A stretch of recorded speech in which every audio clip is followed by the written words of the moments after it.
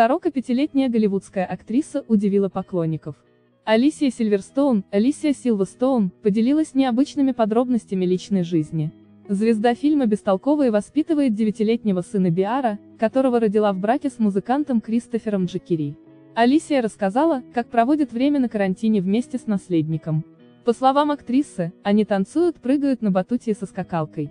Однако одно их совместное занятие показалось общественности крайне странным. Мой сын и я принимаем ванну вместе.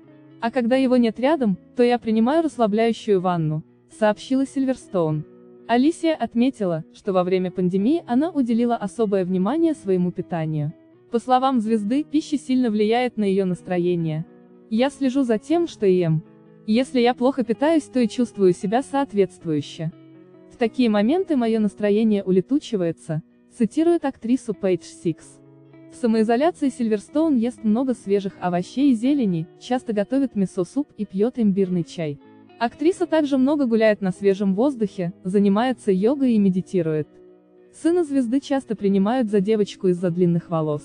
Алисия дает возможность Биару самовыражаться и ни в чем его не ограничивает. Иногда он вместе с мамой делает педикюр. Актриса придерживается мнения, что в плаценте содержится огромное количество питательных веществ и витаминов. После рождения сына она съела свой биологический материал. Сильверстоун – вегетарианка.